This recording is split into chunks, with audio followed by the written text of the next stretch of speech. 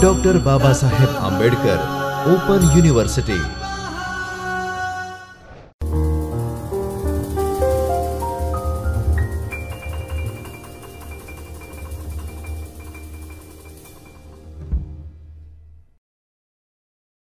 Hello.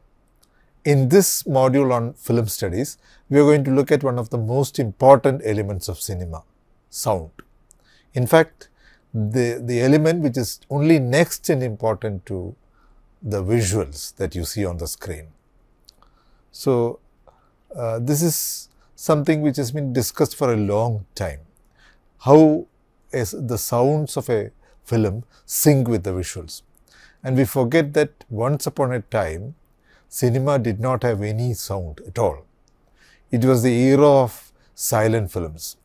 So it lasted till 1927 when the first full-fledged talkie was made in America.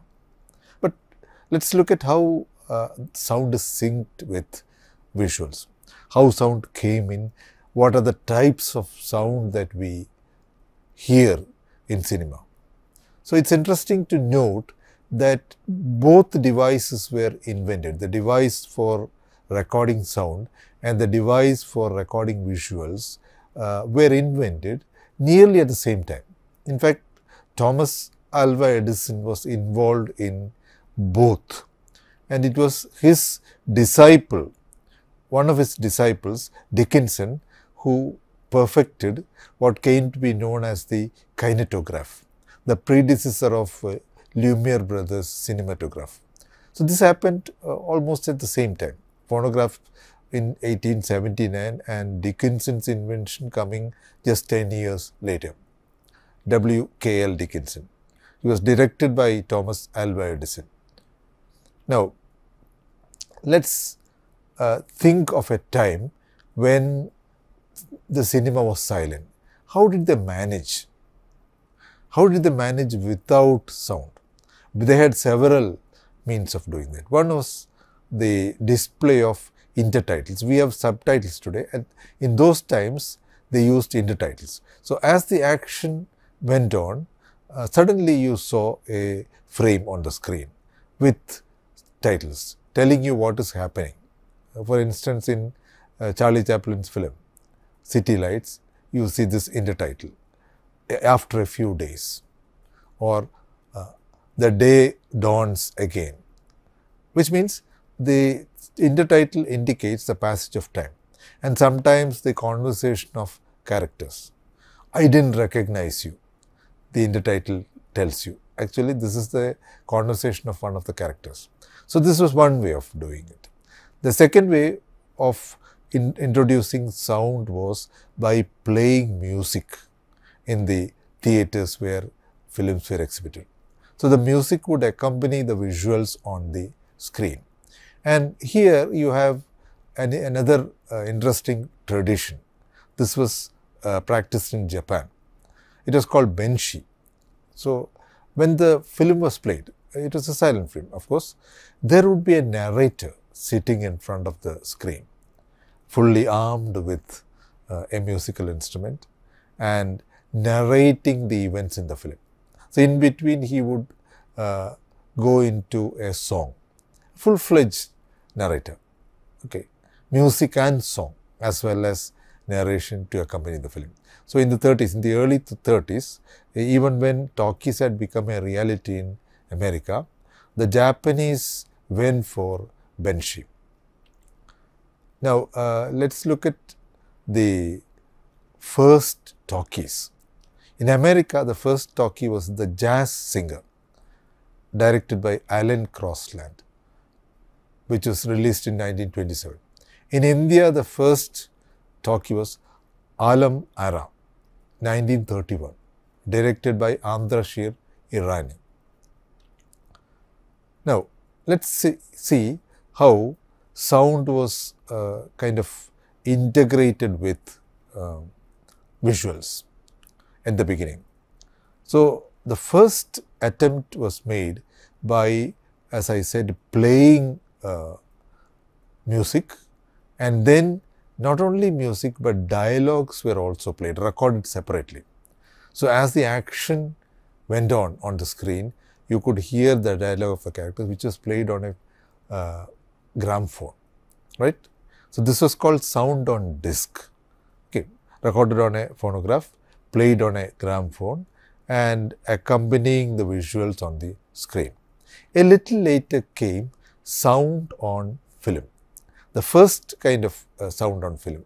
This was an analogous kind of recording of sound. Okay. Sound was converted into electronic signals as light impulses. They were recorded as tracks on the film and a photoelectric sensor in the projector would convert these to sound when the film was played. A sensitive sensor which uh, as the projector ran would convert it into sound and it would be played on the speaker. Now, let us look at the advances in sound recording over a period of time.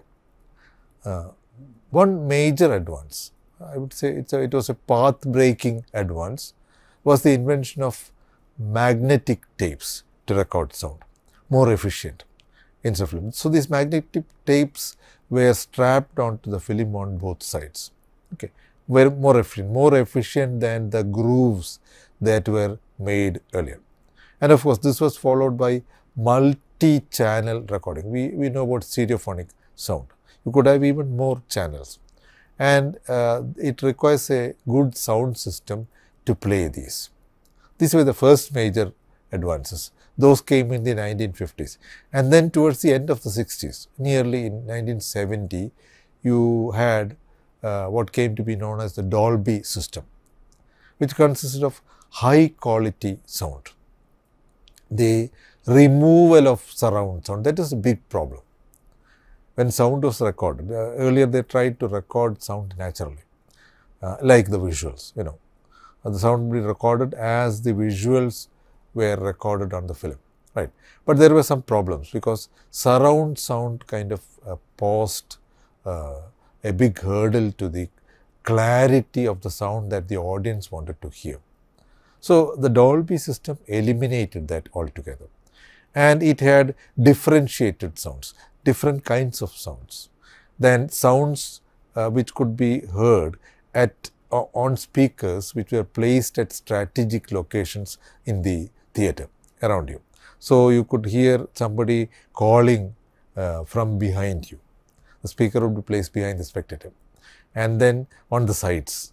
It gave you a, a feeling of reality as if you are actually in the middle of the action. And then you of course had woofers. So, all these improve the quality of the sounds. And then uh, as we know today, digital recording uses uh, a, an audio and a video track, okay, recorded and saved as files on disk. Very secure, very perfectly done. And not only that, they are said they can be removed also and new tracks inserted, right. Even parts of it can be removed. This was not possible with magnetic tapes. With magnetic tapes, you have to cut and paste, right. You have to record again and paste that in between, cut off parts which you didn't need. All these were done uh, very mechanically.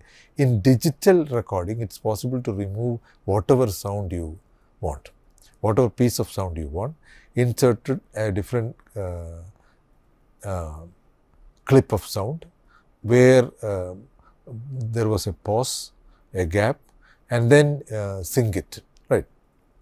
So, such recorded audios could be played by appropriate audio software and audio systems. We have many. When you, when you look at your uh, lap or your desktop, you find many such uh, software Okay. You can play it on uh, KM, you can have a Windows media player, so on. A number of such softwares are available. Now, uh, there is one initial problem that filmmakers faced. The quality of natural sound was found wanting. As I said, when they tried to record sound, not only that there were disturbances from the surroundings, but the quality of the sound was not as good as people expected when you record it in the open. So, what they did was to record it in a studio. Uh, sounds which came to be called uh, Foley sounds. Okay. And the people who did that were called Foley artists, artificial sounds, sounds which are produced synthesized in the laboratory. Okay. So, not only sound effects, but even natural sounds, so called natural sounds like birds chirping, a cow moving, a dog barking, the horn of a vehicle. All these were recorded in the lab and uh, the waves lapping in the sea, okay, lapping on the shore. All these were recorded and over a period of time, there was a library of sounds available. You know, you have just got to take the file and paste it to whatever uh, audio track that you are preparing, right, freely available. Now, I think this is the case and you can uh, produce sounds in, in a very artificial way. Okay. So, if you want to have the sound of waves lapping the shore, many people, what many people do is to take a book and flap it uh, after switching on the fan. Okay. If you do it carefully, you get an almost exact replica of the sound of waves lapping the shore, so on. And uh, they, uh, they also produced a synthetic speech in the lab. Okay. Synthetic speech meaning the speech of uh, speech that is already recorded. Its quality is changed. So, I will come to that a little later. We will move on to the type of sounds that are heard in a film, the basic sounds. Dialogue of course is the first that you can think of. Music, mostly background music. Then non-linguistic surround sound. Okay. As I said, the sound of birds chirping, the sound of a brake applied in a vehicle, screeching of the brake of a vehicle, uh, a dog barking, vehicles moving on the road, uh, uh, the sounds of cooking, what you hear, you hear something sizzling in the oven. All these are non-linguistic surround sound. And then special effects, special sounds. Okay, sound for instance uh, that you hear when a ghost appears or a sound to indicate a mood of a character. All these are special effects. Okay. And you have special effects used particularly in such genres like uh, sci-fi, science fiction films. Now, let us look at uh, how sounds are divided further. You have diegetic sounds. Diegetic sounds are sounds that have their source in the film narrative. What is actually happening on the screen? Okay. So, uh, conversations, okay. sound of uh, somebody pulling a chair. Whatever you see on the screen, not only on the screen, but even off the screen. Okay. It is part of the action, right. It is called diegetic sound. Non-diegetic sounds are sounds that come from outside, that are not there in the narrative. Special effects, of course. When a ghost comes in, you hear that kind of frightening sound. It is a non-diegetic sound. It is introduced by the director from outside. Okay. Background music, of course. It is not there in the film. Okay. So, uh, non-diegetic sounds actually represent the play of art in cinema over verisimilitude, over reality. So, reality actually obstructs the kind of uh, sounds that you introduce as non-diegetic sounds. But here they are used for artistic effect. So, that is the whole point of using non-diegetic sounds. Then synthesized speech, I mentioned that. Now, this is made from pre-existing recordings of speech. Okay. So, I am speaking now, my speech can be recorded it can be turned into something else, right?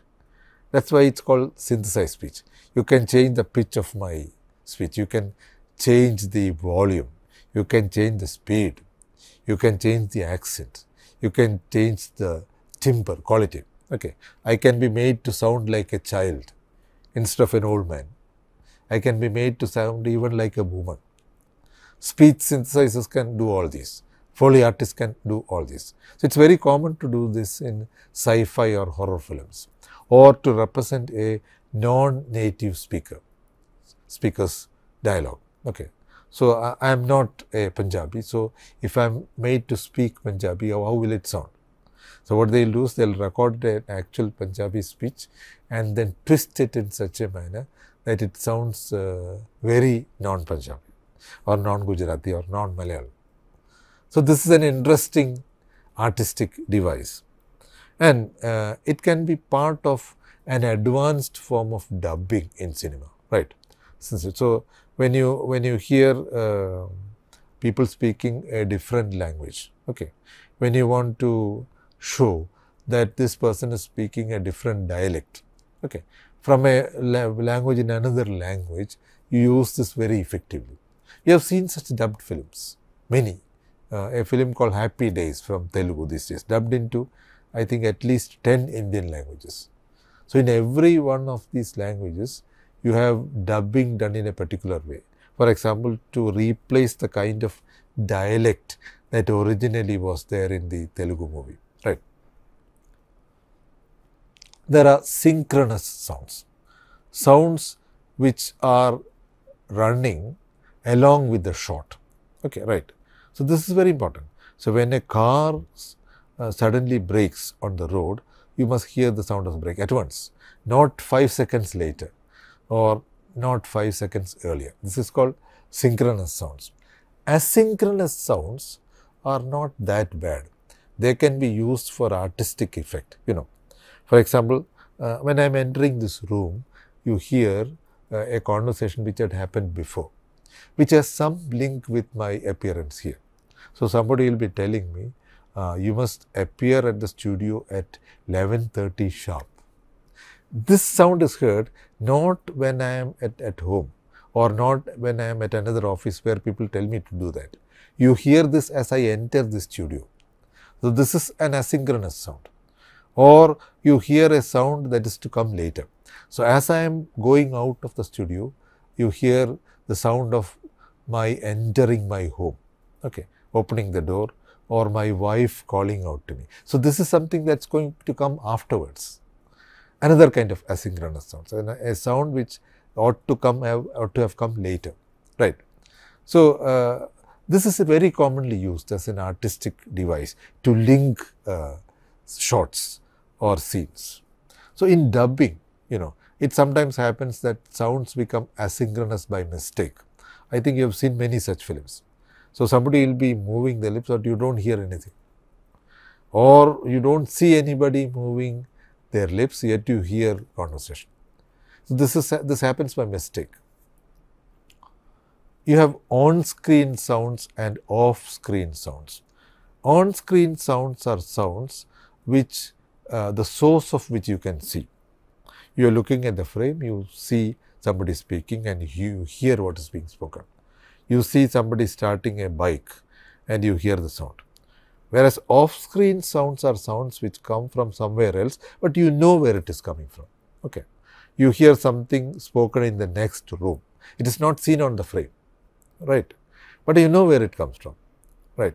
So, off-screen sounds are not asynchronous sounds or non-diegetic sounds. They are sounds which you know uh, the source of, right? You, but you do not see the source. Voice over, an interesting form of non-diegetic sound. Okay. So, in which the speaker, if there is a speaker, addresses the audience directly. So, when an action is going on, the speaker will try to tell you to decipher the action to interpret the action. Okay. So, when you see somebody gifting, uh, let us say, a mobile phone to his or her son, there will be a commentary by this uh, voice saying, okay, just watch what is going to happen. So, this comes from outside, okay, mostly from a know-all person. Okay. Sometimes it can be a voice without a speaker something like a heavenly celestial voice, okay, something from God. These are very often used in films. Okay. Uh, somebody commenting on the action, like as I said here, on this gifting of a mobile phone or of somebody giving a love letter to somebody else. Okay. So, uh, the audience's want, for example, don't take this for real. There is some purpose behind this, right? So, this is very common. And in commentaries, okay, uh, in feature films, very often, okay, uh, the voice actually not uh, in the way which I just uh, narrated, but in another way, reminding the audience of the real nature of the action, right? Or the in uh, documentaries, for instance, you hear the gist of a character's speech given by somebody as a voiceover. Okay. Sometimes in films uh, dubbed from another language. Okay. You are just uh, allowed to hear the first part. Okay. You hear it being spoken in another language. Then the voiceover commentator gives you a gist of it. Okay. And by which you will understand what is being spoken. You don't need to listen to the whole speech. Background music, of course, uh, one of the most important uh, kind of diegetic sound. Okay, to create a mood, for example, to create a setting, okay, to describe the mood of the characters, to indicate the emotions of the characters. So, in, in earlier silent films, music used to be added later. So, you have music in Charlie Chaplin's modern times. Now the film comes with music. An original silent era film now uh, comes with music. They haven't tried to add conversation because the film was not designed to do that. It will be difficult. So with the intertitles and all, you can't think of adding conversation. No, it, it can be done digitally, but it's not doesn't look good. But on the other hand, music can be okay. And the appropriate kind of music can be added. And uh, just to remind you, there are films which don't use music at all, especially some art films. A film called Kodiyettam in Malayalam, 1977, I remember, no music at all, only natural sounds. No music accompanies the any of the uh, interesting turns in the plot, the characters' setbacks, for instance. No music, only natural sounds. So, it is not a necessary element in cinema, although most directors prefer to have music. Okay. Now, uh, sounds uh, are not just things which uh, perform uh, such auxiliary roles. Sounds are vital to what we call cinematic images. I will give you examples. So, when you see a person running at full speed, and suddenly stopping. Uh, this can be kind of uh, augmented by the sound, sound of a vehicle's screeching brake. It's funny, of course, but it creates a, what is called a cinematic image. Or when somebody is, is in a great state of excitement, you can hear his heart beating. An artificial sound can uh, kind of imitate uh, a person's heartbeat or when, when you see two people fighting, okay, rivals fighting, you can introduce the sound of a roaring lion, so on. And sometimes you see inappropriate sounds. What are inappropriate sounds? Sounds which normally do not go with the visuals. Okay. So, when somebody dies, you don't expect to hear funny music or when somebody uh, attends a very gay festive event. You don't uh, expect sad music, but this can be used for to indicate certain uh, uh, facts about the uh, character or the plot, such as when a gay festive event is going on, this person is not involved in it. It, it represents a kind of setback, such as your uh, lover getting married so, this is called an inappropriate sound. It has uh, such a function, right. So, I, I, think I have given you a, a gist of uh, the ways in which sound is deployed in cinema and you have these references. Tomlinson Holman, Sound of Film and Television, published by Elsevier, 2010. Maria Pramaggiore and Tom Wallis, Film a critical introduction.